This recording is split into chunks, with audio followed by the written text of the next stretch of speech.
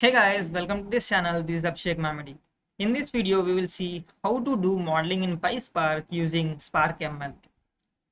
Here are the contents of this video. Uh, we will start with setting up the PySpark environment and then reading data for the modeling exercise and pre-processing the data so that we can directly use it for modeling and modeling using Spark ML.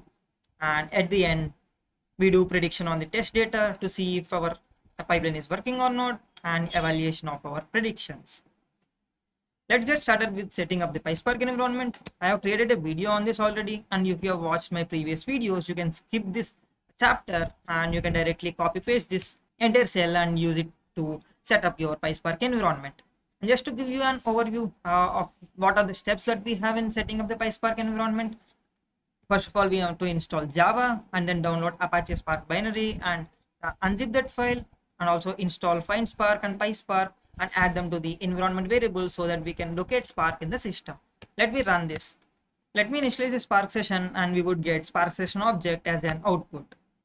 In this video, I am planning to use wine quality red dataset from UCI. Let me download the data and save it in sample data folder.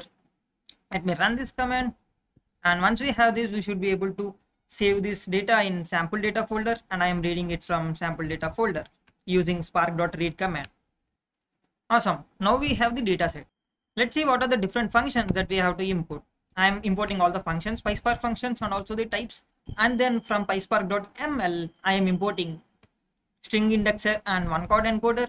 And string indexer is something similar to label encoder, where, which gives a label to each category. Right for modeling, we have to convert all the categorical variables into numerical columns. So uh, in string indexer will be helpful in those cases. One hot encoder is helpful to create uh, one hot encoding vector. And then we have vector assembler. So for modeling, it takes a vector as an input. So we have to combine all the features and create a vector and then we have to send it to the modeling. For modeling, I am importing decision tree classifier from pyspark.ml.classification. Let me import this. In this data set, we have only numerical columns. We don't have categorical columns. For explanation purposes, I am creating a categorical column. So what I am doing is I am converting this alcohol uh, into high and low based on the average that we have. So average of this column is 10.5. If the alcohol value is greater than 10.5, I am keeping it as high. Otherwise, it is a low so that we get a categorical column. Let me run this command. Here for high, we have 616 and for low, we have 983 data points and also the target variable is quality here. I mean uh, it's a quality ranging from 3 to 8 and we will treat this as a multi classification problem.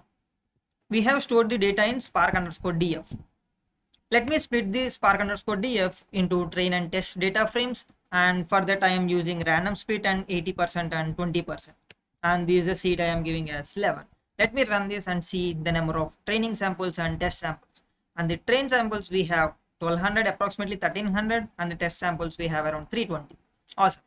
Now we have the data set ready. Let's start with the modeling. But before modeling we have to do some sort of pre-processing right? Because we have categorical features and also we have to convert these features into a vector. Let's see how we can do this.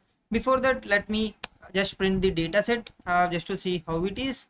We have different columns like fixed acidity volatile acidity, okay, residual sugar, density, pH, alcohol, quality is the target variable.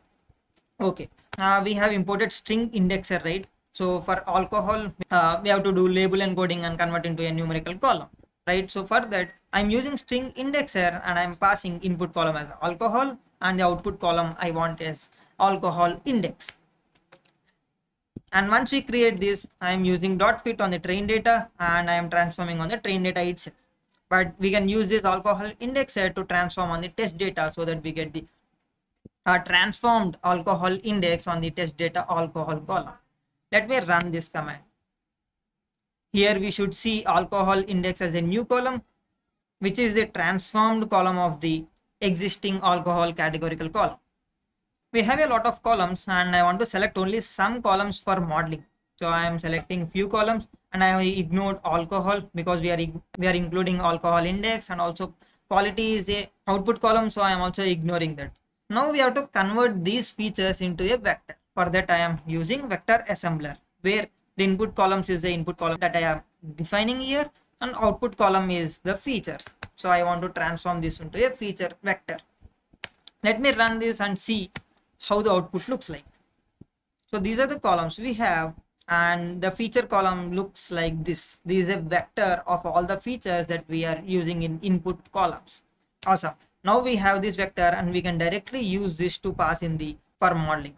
Let me create a modeling data frame by selecting only features and quality which is a input variables and quality is a target variable. Let me run this and it should have only two columns and we can directly use this train df as is for modeling but i am just creating a modeling df just for simple and clean purposes. Now, uh, as is a multi-class classification, I mean, let me use decision tree classifier and I'm giving label column as quality and features column as features. Those are the two columns we just created. And I have this uh, DT model and I'm doing a dot fit on the data frame that we have. Now we have the model created and using this model, I am transforming on the modeling data frame itself, which is the training data. Let me run this and we should get the predictions. See, we have the features and the quality and raw prediction and we have the probability as well. So probability for each class and of course uh, we are also getting the final prediction what's the class that we are predicting so if the wine quality is 5 7 6 etc based on the probability we can also take a max of this and get the prediction. So now using this model we have transformed on the training data and we can also use evaluation methods that they have already provided for us in PySpark.ml.evaluation and I am using multi-class classification evaluator to get the area under curve. And using this I am defining label column as quality uh, right we we have the label column as quality. If we hover on this we will get to know what are the default values for label column. Let me hover on this. Okay it's not coming for some reason. Let uh, let's ignore that. And using this evalu dt i'm evaluating the predictions which gives the area under curve as an in output. And we have 0.6 as an auc awesome. It's not very bad. It's okayish now let's see how we can transform it on test data we have test df which we have split the original data into train and test right what we have to do is we have to use all the transformers that we have built and transform them on the test data frame so I'm using alcohol indexer, which converts the categorical alcohol column into uh, numerical column. And then I'm using vector assembler to create a vector of all the features that we have. And then I'm using the model that we have created to transform on the test data frame, which is coming from the vector assembler. And finally, we will get test predictions. Let me run this and see how it looks like. See, we have all the features and this is how we get right we have alcohol index and what are the feature vector how the feature vector looks like raw prediction probability and then the final prediction awesome and now let's use the evaluator dt that we have created to evaluate our predictions on the test data. Let me run this. And the area under curve is 0.58 and the area under curve on train data is 0.6 yeah this is pretty much uh, in sync. These we can apply different transformers that are in the PySpark.ml on the raw data set. And and we have seen how we can use estimators. Currently we have used decision tree classifier and similarly PySpark.ml provides us a lot of estimators and different models based on the use case that we are dealing with. Awesome. In this video we have seen uh, simple estimators and transformers and we have applied on the raw data and these though we can build models in PySpark using SparkML and this is very easy to use. And in the next video, we will see how to make the whole process simple using pipelines. Because here when we want to transform on the test data, we have to use all the transformers and estimators that we have used in the training pipeline and we have to use them on the test data, right? So instead of that, we can leverage pipelines and get the predictions on test data using just dot transform on the pipeline. Thank you so much guys. That's the end of this video. If you like this video, please like, share and subscribe to my channel. And if you are on LinkedIn, please tag me and share your thoughts on this video and the current ongoing series getting started with PySpark hands-on. And this will motivate me to make more such videos guys.